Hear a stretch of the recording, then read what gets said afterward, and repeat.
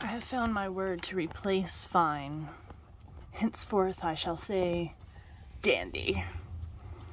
Have a wonderful day. Bye.